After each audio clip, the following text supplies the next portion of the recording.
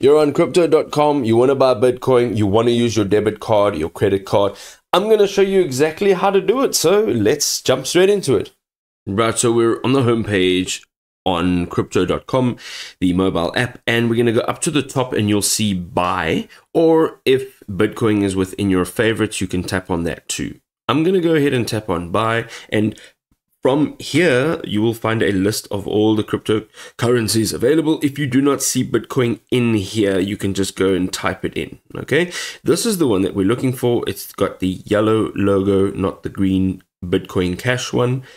Now, once you've tapped on this, you will see the buy Bitcoin option. Here, you want to go ahead and you want to add the amount of Bitcoin that you would like to make a purchase of.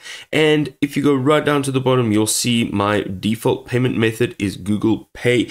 But if you come in over here, you can see it says add payment method. Let's go ahead and tap on that.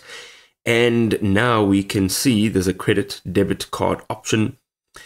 Make sure that you are aware of the fees. You're going to go ahead add in all your details here, tap on add card, and then you can make a purchase directly on this page.